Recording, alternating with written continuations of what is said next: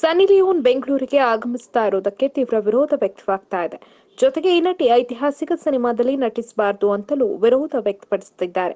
ವೀರ ಮಹಾದೇವಿ ಚಿತ್ರದಲ್ಲಿ ನಟಿ ಸನ್ನಿ ಲಿಯೋನ್ ನಟಿಸಬಾರದೆಂದು ಹಾಗೂ ಬೆಂಗಳೂರು ನಗರಕ್ಕೆ ಬರಬಾರದು ಎನ್ನುವ ಈ ಕೂಗು ಮತ್ತಷ್ಟು ಜೋರಾಗಿದೆ. ಈ ಎರಡು ವಿಚಾರಕ್ಕೆ ಆಗ್ರಹಿಸಿ ಕನ್ನಡ ರಕ್ಷಣಾ ವೇದಿಕೆಯ ಯುವ ಸೇನೆಯು ಸುದ್ದಿಗೋಷ್ಠಿಯನ್ನು ನಡೆಸಿತು. ಇದೇ ನವೆಂಬರ್ ಮೂರರಂದು ನಟಿ ಸನ್ನಿ ಲಿಯೋನ್ ಬೆಂಗಳೂರಿಗೆ ಆಗಮಿಸುತ್ತಿದ್ದಾರೆ. ಇದಕ್ಕೆ ನಾವು ತೀವ್ರ ವಿರೋಧ ವ್ಯಕ್ತಪಡಿಸುತ್ತೇವೆ. ನಮ್ಮ ಈ ಹೋರಾಟಕ್ಕೆ ಶ್ರೀರಾಮ ಸೇನೆ ಮುಖಂಡ ಪ್ರಮೋದ್ ಬುತಾಲಿಕ್ ಸೇರಿದಂತೆ ಒಟ್ಟು ಹದಿನೈದಕ್ಕೂ ಹೆಚ್ಚು ಕನ್ನಡಪರ ಸಂಘಟನೆಗಳು ಬೆಂಬಲ ಸೂಚಿಸಿವೆ.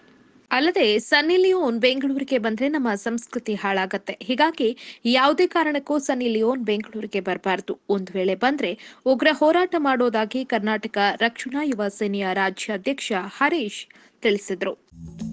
Like, share, and subscribe to TV Next Kannada.